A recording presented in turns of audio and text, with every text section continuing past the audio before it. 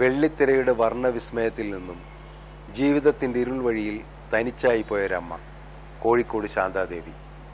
ആരോടും പരിഭവിക്കാതെ പരാതിപ്പെടാതെ എല്ലാ നൊമ്പരങ്ങളും ഉള്ളിലൊതുക്കി നമ്മെ വിട്ടുപിരിഞ്ഞ കലാകാരി.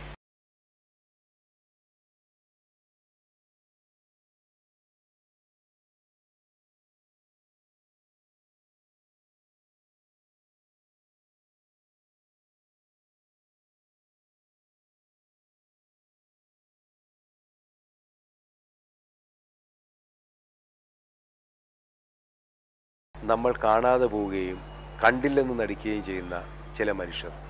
അതിനുദാഹരണമാണ് ഇവരുടെ ജീവിതം. നാടകവും സിനിമയും നൽകിയ വേഷങ്ങളൊക്കെയും അനശ്വരമാക്കിയ ശാന്താദേവിയുടെ അനുഭവങ്ങൾ ഒരു കലാകാരിയുടെ ആത്മാർപ്പണത്തിന്റെ കൂടി കഥയാണ് ആയിരത്തി തൊള്ളായിരത്തി ഇരുപത്തേഴിൽ കോഴിക്കോട്ട് തട്ടത്തിൽ കണ്ണക്കുറുപ്പിന്റെയും കാർത്തേനിയമ്മയുടെയും പത്ത് മക്കളിൽ ഏഴാമത്തെ കുട്ടിയായാണ് കോഴിക്കോട് ശാന്താദേവി ജനിച്ചത്. പതിനെട്ടാമത്തെ വയസ്സിൽ വിവാഹിതയായെങ്കിലും ആ ദാമ്പത്യം ഏറെ നാൾ നീണ്ടു നിന്നില്ല. തുടർന്ന് നാടക സിനിമാ രംഗത്തെ പ്രശസ്ത പിന്നണി ഗായകൻ കോഴിക്കോട് അബ്ദുൽ ഖാദറിനെ വിവാഹം കഴിച്ചു. നടി എന്ന നിലയിൽ അരങ്ങേറ്റം കുറിക്കുന്നത് വാസു പ്രദീപിന്റെ സ്മാരകം എന്ന നാടകത്തിലൂടെയായിരുന്നു. നാടകവേദിക്കും സിനിമയ്ക്കും ഒട്ടനേകം പ്രശസ്തരെ സംഭാവന ചെയ്ത കോഴിക്കോടായിരുന്നു ഇവരുടെയും തട്ടകം. അതുകൊണ്ട് തന്നെ ഇവർ കോഴിക്കോട് ശാന്താദേവി എന്ന പേര് സ്വീകരിച്ചു. പിന്നീട് നാടകത്തിലും സിനിമയിലും ജീവിതത്തിലും ഇവർ ഇതേ പേരിൽ അറിയപ്പെട്ടു. ചലച്ചിത്ര രംഗത്തേക്ക് ശാന്താദേവിയുടെ പ്രവേശനം ആയിരത്തി തൊള്ളായിരത്തി അമ്പത്തി ഏഴിൽ രാമുകാരിയായിട്ട് സംവിധാനം ചെയ്ത മിന്നാമിനിങ് എന്ന ചിത്രത്തിലൂടെയാണ്. തുടർന്ന് ചെറുതും വലുതുമായ നിരവധി വേഷങ്ങൾ ഇവർ കൈകാര്യം ചെയ്തു. ആദ്യകാലത്ത് സത്യൻ നസീർ തുടങ്ങിയ നായകന്മാരുടെ അമ്മവേഷം ചെയ്ത ശാന്താദേവി തൊണ്ണൂറുകളിൽ മമ്മൂട്ടിയുടെയും മോഹൻലാലിന്റെയും അമ്മവേഷവും ചെയ്തു.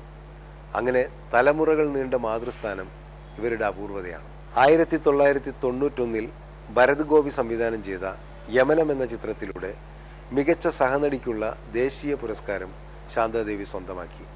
കൂടാതെ നാടക നടി എന്ന നിലയിലും നിരവധി അംഗീകാരങ്ങൾ ഇവർക്ക് ലഭിച്ചിട്ടുണ്ട്. കേരള കഫയിൽ അൻവർ റഷീദ് സംവിധാനം ചെയ്ത ബ്രിഡ്ജ് എന്ന ചിത്രത്തിലെ അമ്മവേഷമായിരുന്നു ശാന്താദേവിയുടെ അവസാന കഥാപാത്രം. ഒരറമ്പറ്റൽ പോലെ സിനിമയിലെ അവസ്ഥ ജീവിതത്തിലും അവർ ഏറ്റുവാങ്ങിയപ്പോൾ കലാകേരളം ഒരു നിമിഷം പകച്ചു പോയിട്ടുണ്ടാവണം. ജീവിതാന്ത്യത്തിൽ ഓർമ്മ നഷ്ടപ്പെട്ട അവസ്ഥയിലും തന്നെ തേടിയെത്തിയവരോട് ശാന്താദേവി സംസാരിച്ചത് അഭിനയത്തെക്കുറിച്ചായിരുന്നു. ഈ കലാകാരിയുടെ ഉപബോധത്തിൽ നിറഞ്ഞിരുന്നത് തൊഴിലിനോടുള്ള ആവേശമായിരുന്നു. രണ്ടായിരത്തി പത്ത് നവംബർ ഇരുപതിന് ജീവിതത്തിൽ നിന്നും കോഴിക്കോട് ശാന്താദേവി അരങ്ങൊഴിഞ്ഞപ്പോൾ കലാസ്നേഹികളുടെ ഉള്ളിൽ ദുഃഖത്തെക്കാളുപരി കുറ്റബോധം തന്നെയായിരുന്നു. ദേശീയ തലത്തിൽ മലയാളത്തിന്റെ യശസ്സുയർത്തിയ ഈ അമ്മയുടെ ഓർമ്മകൾക്ക് മുമ്പിൽ ശിരസ് ഉനിക്കുമ്പോൾ നമുക്ക് പ്രാർത്ഥിക്കാം. ഇനിയൊരിക്കലും ഒരു കലാജീവിതവും അനാഥമാവാതിരിക്കാൻ.